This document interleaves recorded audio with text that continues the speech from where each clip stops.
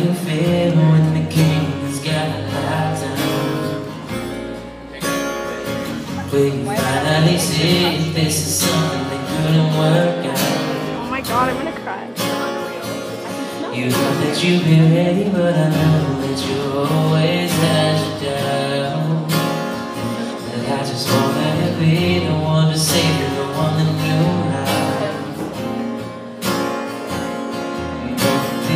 would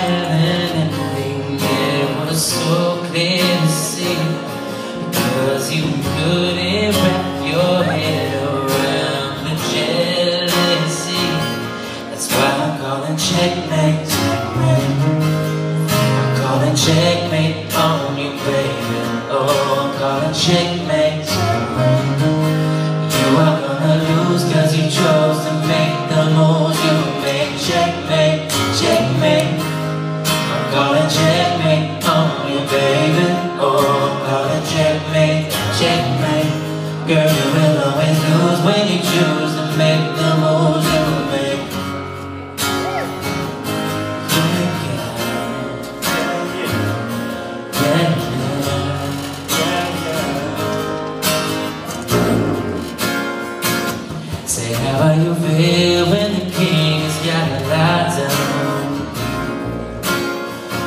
Cause you put up a wall around the castle that I just can't climb around. And I can hear you on the other side of the screen. But you're too afraid to face the demons. So you let your heart just take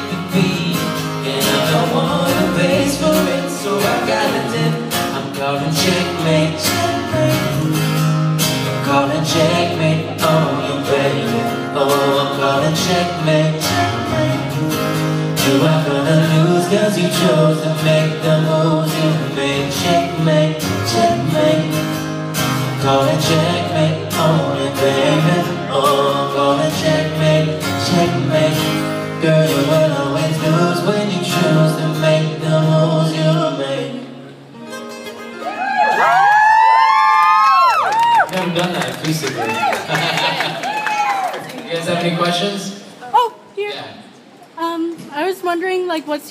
like initial reaction when fans tell you that your music saves their lives?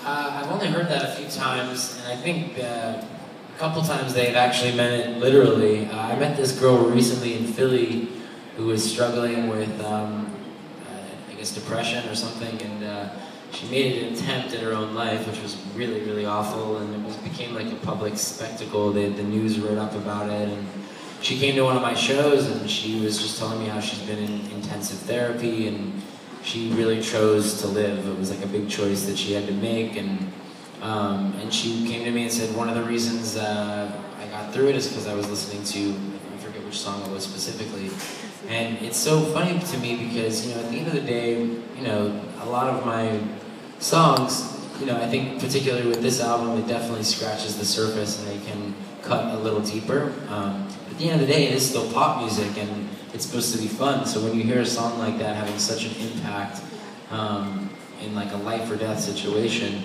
it's sort of surreal. But um, obviously, it, it's I can't even describe what that feels like. You know, it, it feels nice to have such an impact and an influence on somebody to the point where it, it has saved their life. Um, you know, so that's pretty cool. Anybody else? Question? Yeah, what's up? My wife's been a fan since Dream Street. It's actually her birthday today. Can you sing her happy birthday? Uh, sure. What's your name? Roxanne. Roxanne? All right. Oh my god, better film that. Happy birthday to you. Happy birthday to you. Happy Roxanne. Happy birthday to you.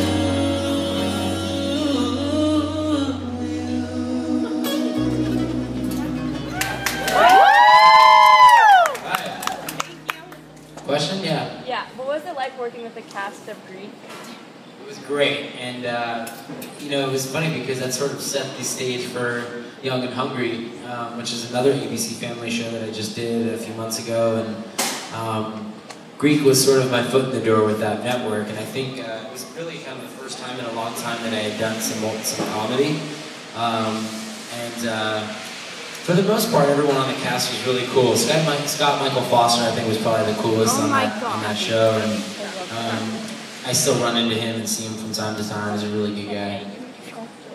Anybody else? Any question? Yeah. I had toured with the Backstreet Boys in 2005, so like almost 10 years ago. And uh, it was right during my first album, and we did a European tour. And um, so I kind of already had a rapport with them, and uh, I guess last year they were doing a big reunion, and I was just about to release my first EP, and um, they called and asked if I would come out with them. And uh, you know, knowing those guys and how nice and cool they are, sometimes you know, when you're an opening act for a tour, it can be miserable depending on who it is you're playing with. But I happen to know that those guys are really cool guys, so um, they were a lot different. In 2005, they were a bunch of party animals, and now they're all married and they're like changing diapers on the tour bus, and they're all like married, you know, guys. So it was a different dynamic, but really still just super nice guys, every one of them. So it was a lot of fun. You guys want to hear another song? Yes! You want to hear it? A little Leavin'? A little shake? What you guys want to hear? It's over. Because you live. I think he's performing that tonight. Mm, you work now. He's doing a lot of old ones. He's doing a lot of old ones.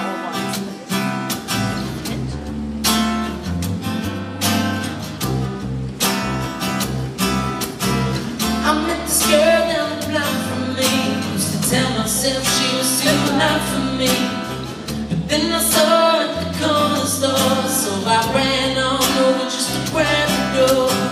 I got a number, we started chitting, hey, started buzzing, and got addicted. Now I'm the one she can't live without. I bet that's her right now. Shorty hitting me up, says she wanna be up. I got the best in town.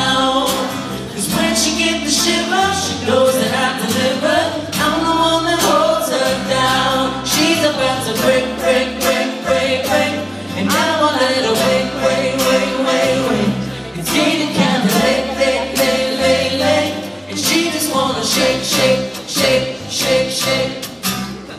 One day she started texting me Asked if she could borrow that recipe I told her loving you is my specialty She said, well give it up, up, give it up, up But she's away at such a And I miss her every I'm around her Cause she, she's the one I can't live without I bet that's her right now Shorty hitting me up, says she wanna be up. Knows I got the best in town.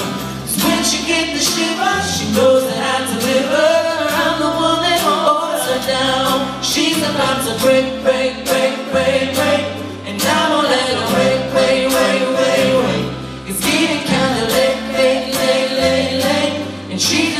shake, shake, shake, shake, shake. Yeah. You have a I have a question? question. What's your favorite tea? My favorite team? Tea. Tea. Oh, What tea. you drinking? Actually, I got a tea. Where? Where is? There she is. She came to my show in Los Angeles last night and brought me my favorite green tea in the world. It's actually, I think, one of the like most expensive green teas in the world too. By the way, it's called Gyokuro. It's a Japanese green tea, and I'm addicted. Like, and last night, uh, everybody on the bus was drinking it. Like, we brewed half of it last night, and I've been drinking it all day. It's probably my favorite. Okay. Gyokuro. So good. Yeah. Who are some of your inspirations uh, to uh, doing music? Um, I, I grew up listening to a lot of, you know, pop music and uh, a lot of soul music. The first album I ever pulled out of my parents' collection when I was four years old, on my own, I discovered Elvis Presley. And I, I, you know, it was just so funny because I remember I seeing this guy on the cover of like this old 45 and he was, you know, he had blue suede shoes on. I was like, those are really cool. And he had like this sequin outfit. And I'm like, who is this guy? And uh, and I fell in love with, with Elvis Presley, Return to Sender, uh, Blue Suede Shoes, Jailhouse Rock. And I said to my mom, I was like, who is this guy? She's like, that's Elvis Presley. And it was a collection of over a thousand albums. I just liked the way he looked. And so I was like, yeah, I'll check him out. And then from there, I listened to a lot of um, Al Green and James Brown and Ray Charles and Smokey Robinson and Michael Jackson. And those are probably, those artists all, I think, sort of influenced me and made me kind of the singer that I am today. And I always lean towards soulful singing, I think, because of, because of those artists. So, yeah, let's do one more right here. Do you prefer working on film or music? Um, it's you know I'm I'm very uh, I get bored easily, so I love doing all forms of entertainment. I grew up on stage and theater, so for me it was about all forms of entertainment and every medium, whether it was writing, singing, or acting. So it's hard for me to really choose specifically, but um, I really give all of my time and energy to one thing at a time. So if I'm on tour, I'm not really distracted by anything else. If I'm making a film, that's all I do. I don't really even pick up my phone. Like I'm just all about whatever it is that I'm doing. So it'd be unfair to really choose one, but right now I think this album is definitely taking the, the forefront of my of my career the front seat. But you guys want to hear one more song? Woo! Yeah, super bad. Yes! Let's do it.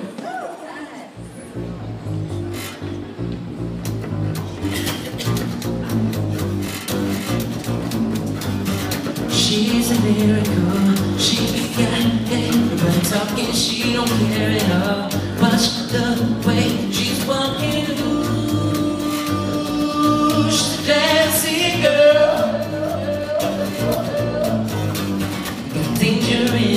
Touch. She should come with a woman when she struts her stuff. Every hand is telling ooh,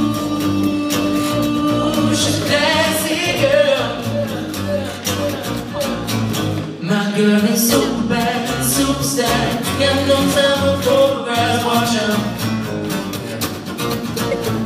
My girl is so bad, that's bad. Knock your tray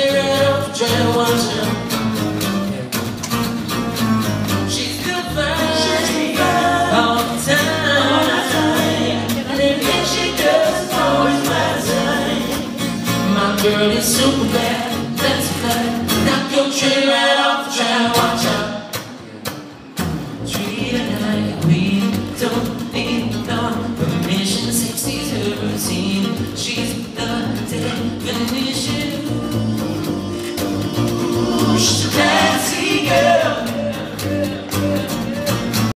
My girl is super bad, super sad. Got no time for photographs, watch out. My girl is super bad, that's bad. Knock your right off the trail, watch out.